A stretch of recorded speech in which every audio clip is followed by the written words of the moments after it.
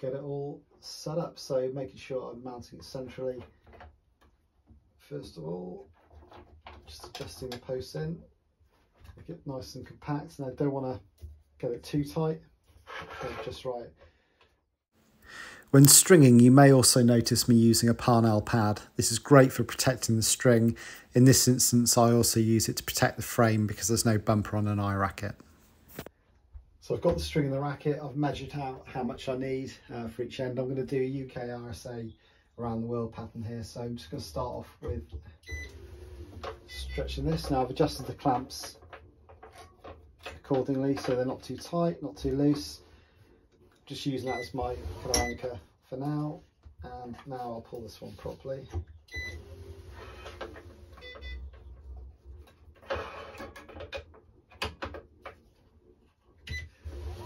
stringing this racket at 28 pounds. Side which I want at the moment this is going to be the long side and the other is going to be my short side. So just keeping hold of one end of the string here makes life a little bit easier.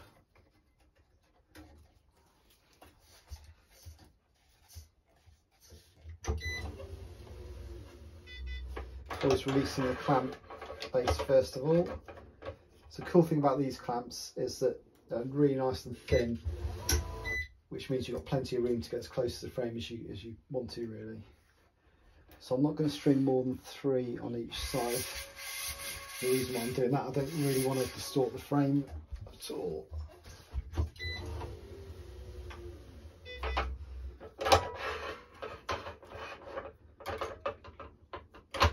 So I'm not going right up to the edge of the frame. I'm not trying to block anything on here. Um, this is one of my rackets. So, uh, you know, just having a bit of fun more than anything. Um, I'm not going to tension this string. I'm just putting it through there just to save a bit of time for later.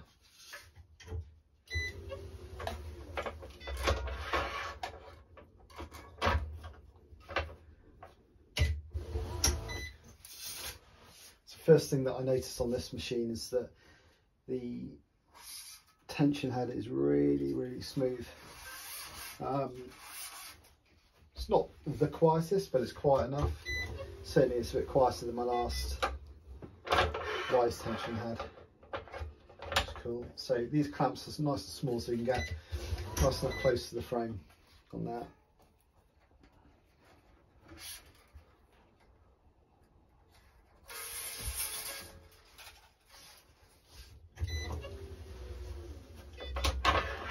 And the string which I'm testing, which I'm stringing with at the moment rather, it's actually a test string for a racket manufacturer.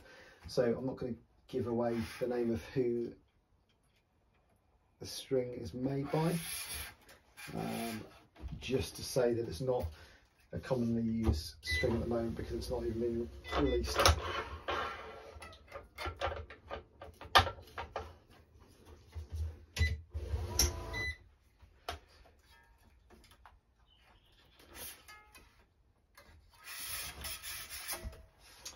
Tension this string.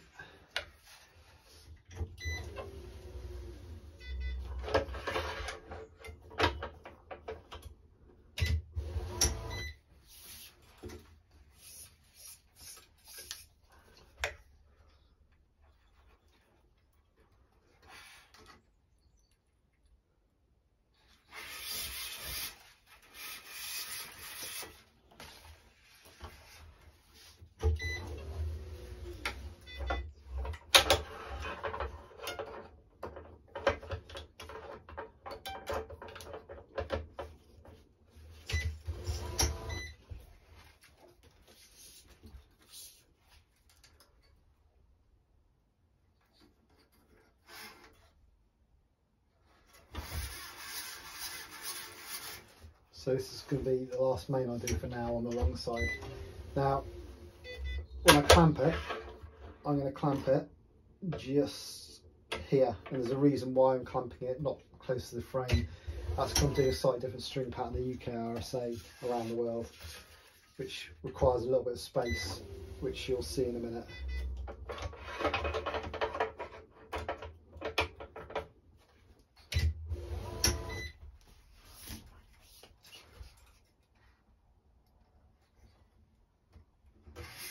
So normally on this racket, the natural pattern would be to string seven mains on each side to 14 mains in total. We're only going to string six on this. And for this particular one, what I'm going to use is my clamp and also a Parnell pad. So this is to protect the frame from scratching. So I'm just going to place that there.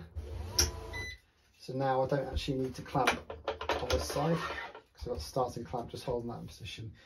I'm not going to use this string for a little while now because uh, I'm going to string down through the crosses now. So we're not going to go on the main on the first cross down. We're going to skip to the second cross down. And there's a reason for that. It's because uh, we'll be coming up and, and finishing off a bit later on. Move that out of the way. Oops. Shaky fingers. Right, a little tip, something which I normally do actually, which I didn't this time, is just to sharpen up the end of the string. This one was a little bit sharp to start with, but it does certainly help um, just to feed things through a little bit better. Obviously protecting the string. This is stringing one ahead, so I'll tension this one in a minute.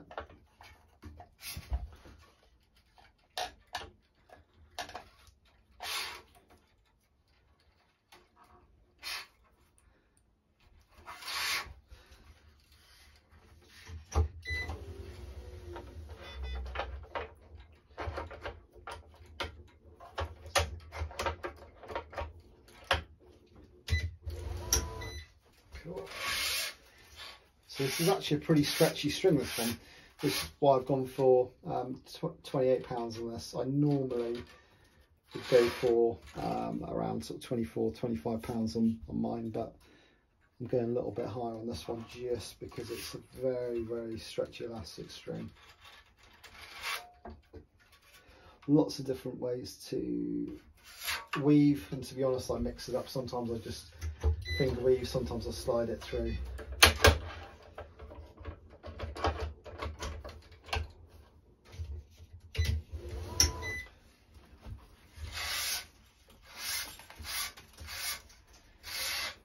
So first thing I'm noticing with uh, this new machine is that the clamps, um, certainly the base of them, slide really, really nicely actually. Oops, my finger caught.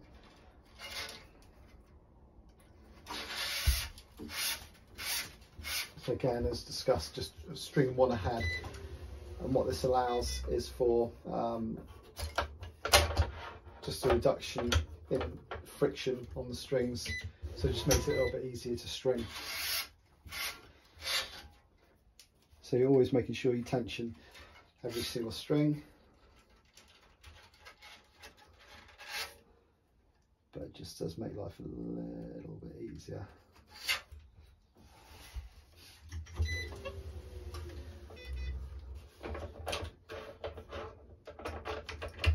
other fairly useful tip as well. Um, as when, certainly when I'm stringing anyway, try and straighten the crosses as you're going along so you're not left with strings all over the place at the end.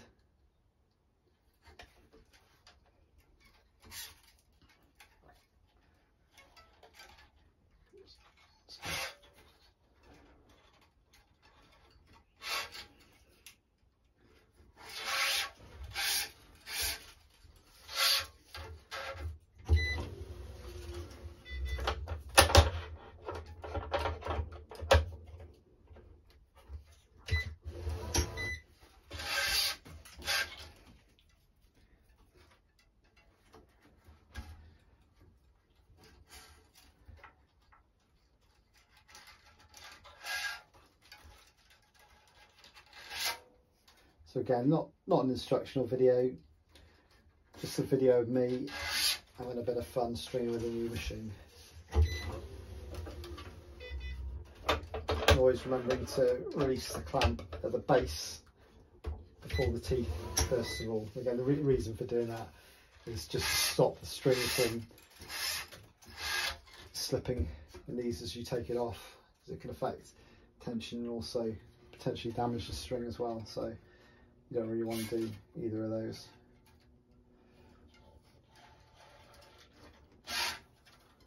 So one of the good things about stringing this way, UKRSA method, is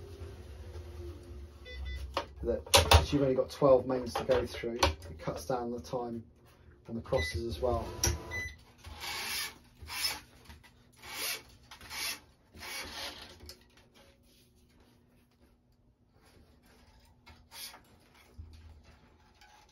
But everyone's got different methods of stringing rackets really. There's no right, there's no wrong. Obviously there's a few glaring things that you can do incorrectly. Um, but certainly for this type of racket, which is similar to a Tecnifibre Carboflex in terms of the shape and string pattern, um, around the world patterns are pretty much a must. It's certainly advisable um, to string the crosses down towards the throat rather than up towards the head. Um, it's just better for the frame. It's best practice really with any racket to make sure that the that the uh, crosses go head to throat. It's, so it just stops the frame from, from deforming too much and certainly it's what as a professional stringer you'll be taught to do.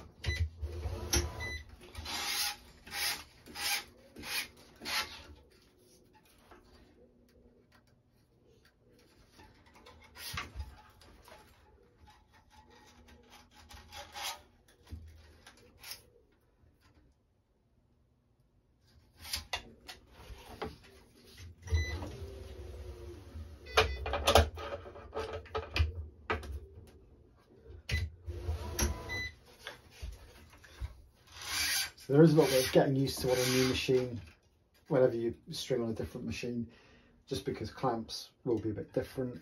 Uh, certainly the post will be as well. And sometimes, I mean, I'm, I'm stringing this with the short side on the traditional side, which is on this side of the racket. Um, quite often I'll string on this side just because sometimes I find it a bit easier um, with my hands. But having said that, there are certain rackets some of the old Dunlop squash rackets from a few years ago, which would normally require you to have the short side on the other side if doing correctly because of the way all the clamps and everything are actually done. Sorry, not clamps, rather the grommets and the bumper strips. They've got grooves in them, so you've got to do things the right way around.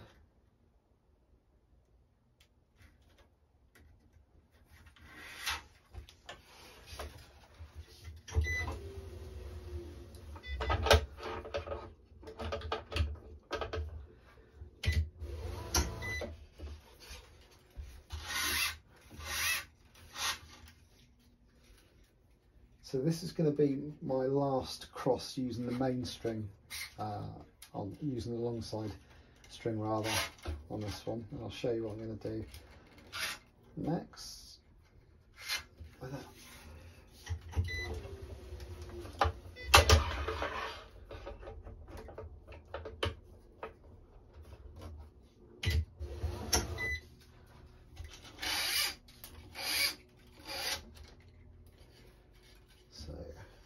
Pull tension.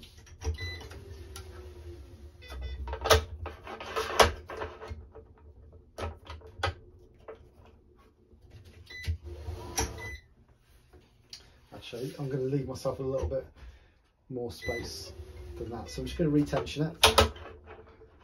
Move it along a little bit more. The reason being is because I'm now going to come back up here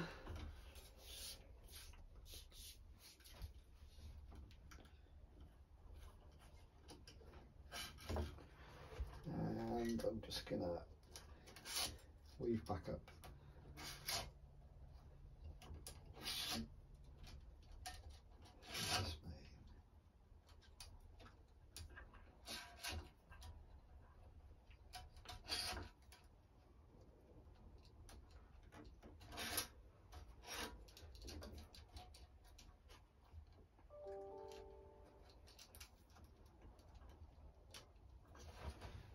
This is where sometimes you need to get one of the, balls out, just if it's a little bit kind of cramped off.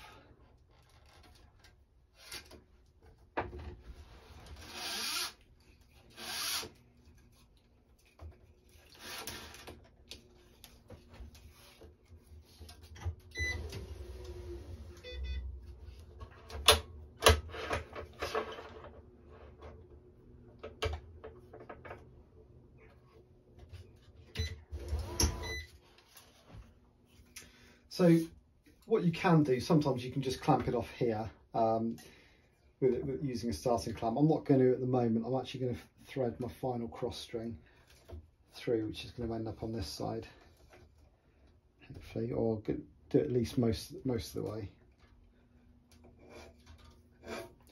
Just to save a little bit of time for later.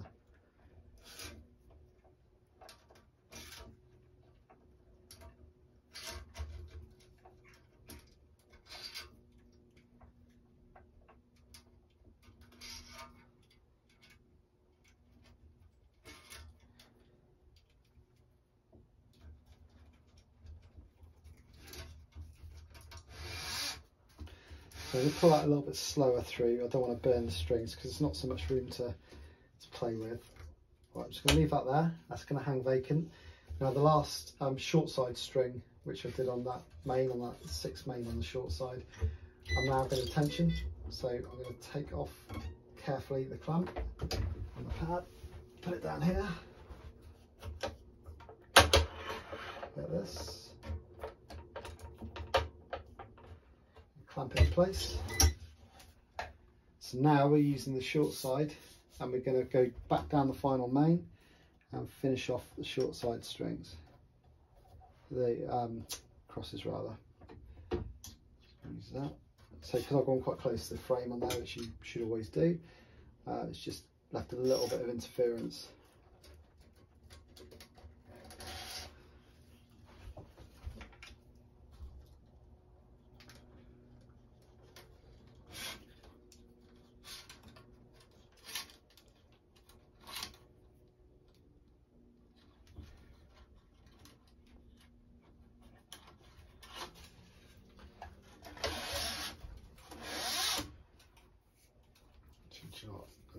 Put it this way.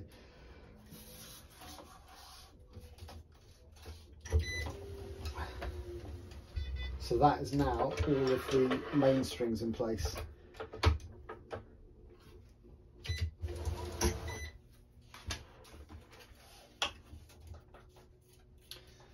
And what I'm going to do now um, is I'm going to just quickly clamp this string here, again using the pad. And this is going to be my final tie off a little bit later on. I'll retension it later too. But for now, I'm going to be finishing off the cross strings down towards the throat. So there's only uh, three left to go now.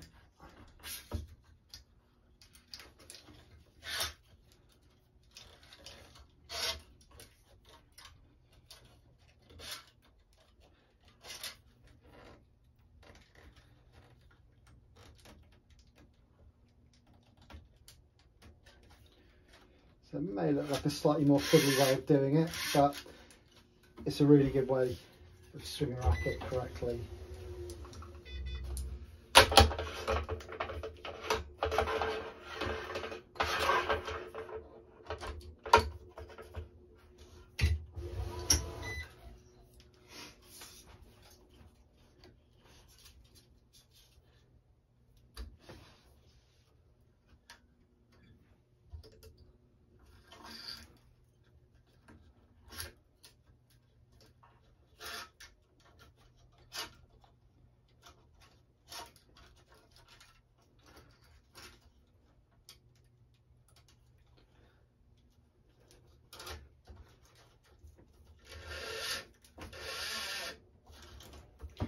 Another advantage of stringing it around the world as well is that you don't get lots of really long loops outside of the frame at the end. So down here and here as you normally would for this type of racket which is good.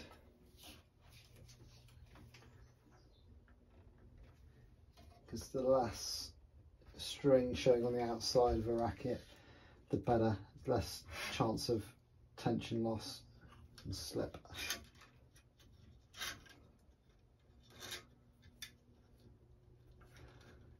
And very, very, very done. Right. So what you can do, you can actually add some extra tension to that last string.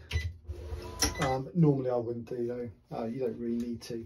And another advantage of doing the around the world pattern as well is that we actually don't, which is a really important thing, we don't actually get um, any side strings which are going to be really loose because they've all been done before these final crosses. So just going to tie this one off. So over, so I'm going to use a Parnell knot on this one again is a kind of industry standard. So let's use my clamp on here if I can find out where I put my clamp. There we go, it's on there. So use my spare one.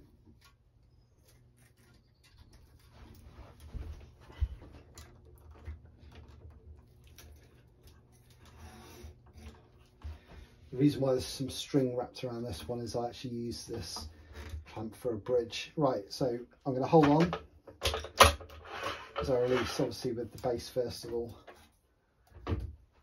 and then use my snippers. Just to cut that. Not too long not too short. So then we've just got the final string here to do. That final cross. So we're going to retension it. Although we've already tensioned it once we're just going to retension it again. Just to make sure we're not losing anything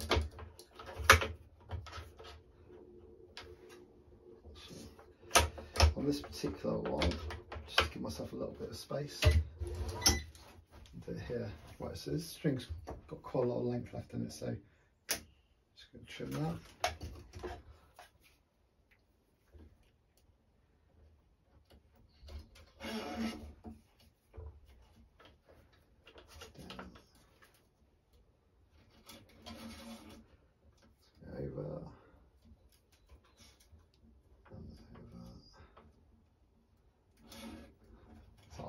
By hand, you don't always need a clamp. Tennis advisable, squash not so much. There we go. That's a racket strung. Um, just to finish it off, what we can do is first of all just clip that. The advantage with a Parnell knot, which I've done on both of these, is that you get the knots facing upwards really nice and neat, nice and tidy.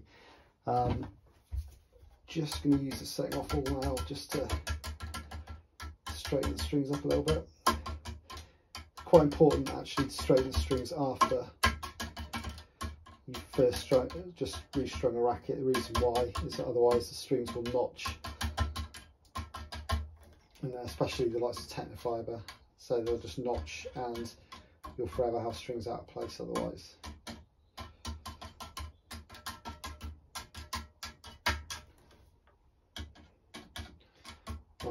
Quite finicky about this and also just making sure that all of the side strings all the main strings rather nice and straight starting off each side spinning around and then going around the other way.